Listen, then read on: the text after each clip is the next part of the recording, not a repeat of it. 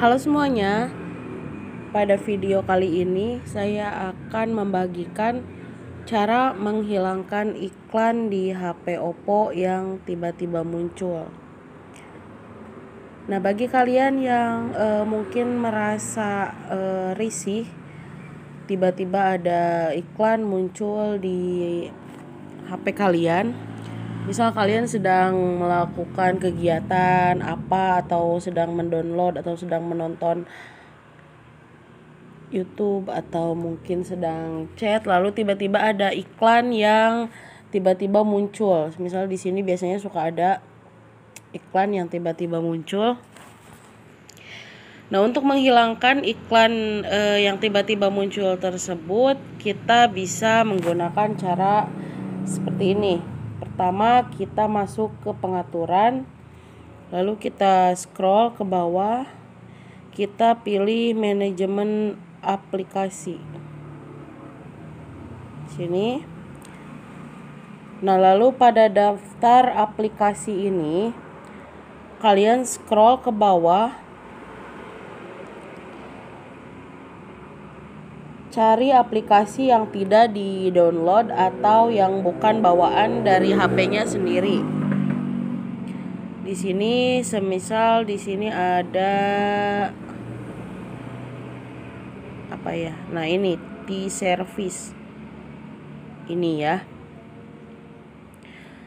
Nah, T-service lalu kita cari, kita kembali dulu keluar, kita cari aplikasi T-service apakah itu terpasang atau tidak. Nah, ini tidak ada aplikasi T-Service yang tadi. Sekarang kita kembali lagi ke pengaturan, lalu kita masuk lagi ke manajemen aplikasi seperti ini. Lalu kita kembali cari aplikasi yang tadi kita temukan. Nah, aplikasi ini. Kita klik Nah, sebelum menginstall, kita hapus dulu data-data yang ada di aplikasi tersebut.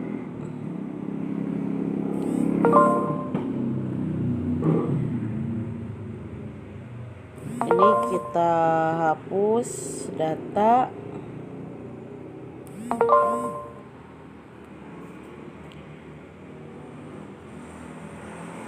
Lalu kita hapus aplikasi ini.